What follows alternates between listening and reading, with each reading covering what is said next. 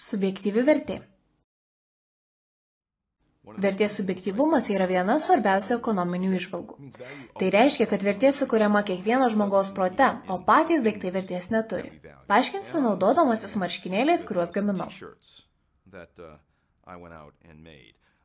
Nesnei parduotuvėje įsigijau dviejus marškinėlius ir keletą paveikslėlių. Štai vieni marškinėliai. Su garsiuoju Kubos revoliucionieriumi čia Gevara. Kiti marškinėliai su vienu iš mano didvyrių, Miltonu Friedmanu.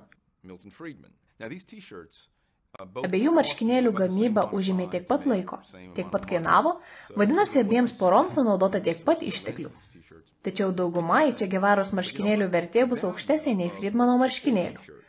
is in fact a lot higher to most people than is the value of the Milton Friedman t-shirt. Jei dėl kokios priežasties čia prarastų žmonių palankumą, jo marškinėlių vertė kristų. Jei Miltonas Friedmanas pradėtų labiau patikti žmonėms, marškinėlių su jo atvaizdu vertė padidėtų.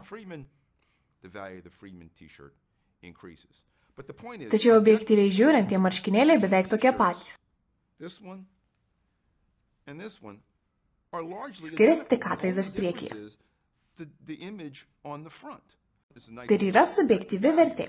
Mes suteikėme jiems kitokią vertę. Aš tikrai nesivilčiau marškinėlių su čia, nes mano nuomonė jis buvo tikras niekšas. Tačiau mielai apsivilčiau marškinėlius su Miltono Friedmanu. Nekantrauju, kol galėsiu pirmą kartą juos apsivilkti. Man šie marškinėliai daug vertingesni nei kitiems. Tai ir yra subjektyvios vertės grožis. Svarbu suprasti, kad pats daiktas vertės neturi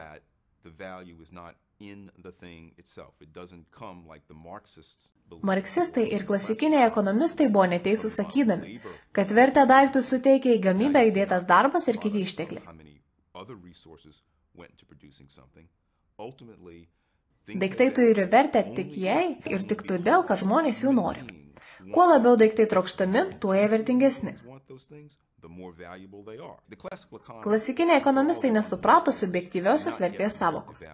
Ekonomistai šios savokos nesuprato iki XIX amžiaus vidurio, kai Austrų mokyklos atstovas Karlas Mengeris suvokė, kad žmonės perka daiktus tik todėl, kad jų nori.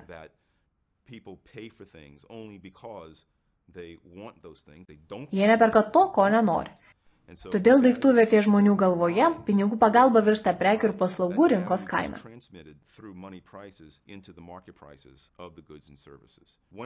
Svarbu suprasti tai, kad niekas negali man pasakyti, kad esu neteisus.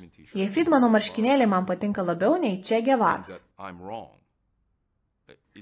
Galbūt tai ne jūsų pasirinkimas, bet aš taip renkuosi. Kadangi jūs negalite skaityti mano minčių, o aš jūsų, geriausiai, ką galite pasakyti, yra tai, kad jei man labiau patinka Friedmano marškinėliai, man jie vertingesni. Jei jums čia gevaros marškinėliai patinka labiau, tai galiu daryti išvadą, kad jie jums vertingesni už Friedmano marškinėlius. Objektyviai, nesame nei teisūs, nei klystame.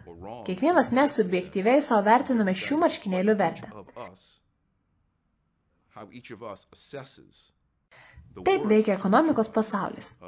Mes visi skirtingai vertiname įvairius dalykus ir tą vertę išleiškiame norėdami pirkti. express our valuations and how much we're willing to pay.